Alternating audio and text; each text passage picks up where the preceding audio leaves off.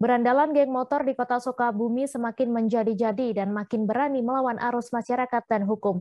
Kali ini aksi geng motor di kota Sukabumi menayangkan siaran langsung di media sosial Facebook melalui akun bernama Bilal FZNN.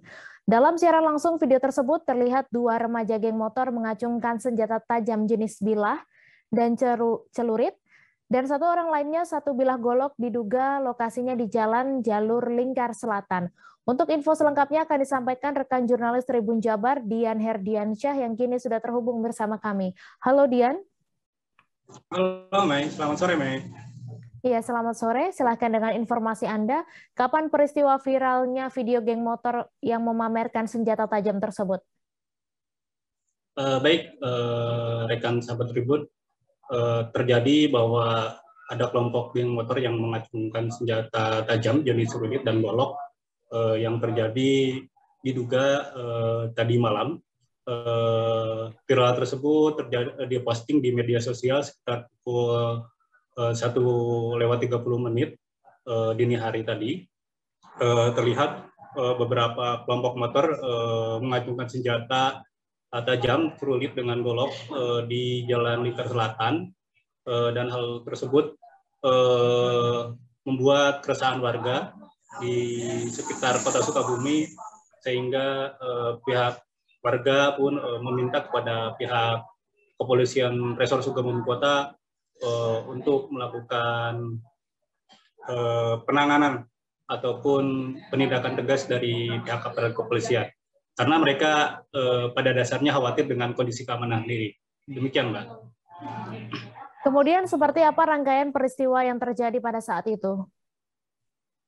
Ya, rangkaian peristiwanya uh, sebenarnya ada dua viral di kota Sukabumi ini terkait dengan aksi geng motor. Pertama, adanya foto uh, kelompok motor yang melakukan uh, penganiayaan, namun terlebih dahulu mereka berse, apa, bersuap foto ataupun selfie, kemudian uh, viralnya uh, kemarin kemarin sore.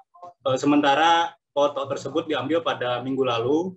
Uh, kejadiannya memang uh, sebelum ke, uh, sebelum kejadian bahwa mereka sempat bersuah foto dan malamnya terjadi uh, penganiayaan terhadap uh, warga yang berada di Jalan Bayangkara, Kota Sukabumi.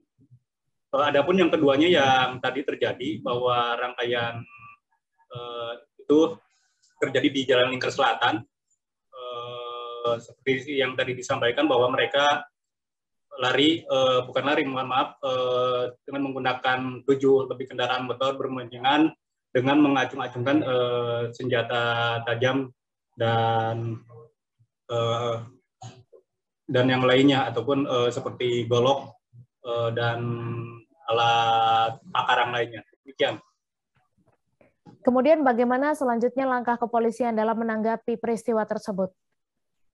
Ya, uh, langkah saat ini kepolisian Resor Sukabumi Kota sejak dua bulan ke belakang ramainya kembali geng motor sudah melakukan antisipasi dan sudah menangkap beberapa tersangka yang terlibat dalam anggota geng motor dan yang melakukan penganiayaan terhadap warga ataupun pengendara yang diduga menjadi korban demikian. Baik Tribuners, wartawan kami juga telah menghimpun wawancara dengan seorang warga kota Sukabumi. Berikut tayangannya untuk Anda. Jujur saya merasa terganggu dan khawatir ya, e, karena saya sendiri seorang perempuan, ya, merasa terganggu juga gitu. Iya khawatir banget, karena kan munculnya tuh biasanya malam-malam gitu yeah. ya, jadi khawatir banget lah. Ya semoga bisa ditingkatkan lagi ya hmm. keamanannya oleh polisi bisa lebih peduli lagi. Iya uh, jaminan ininya ya, jaminan apa? Uh, jaminan keselamatannya ya. Iya. Terima kasih sudah nonton. Jangan lupa like, subscribe, dan share ya.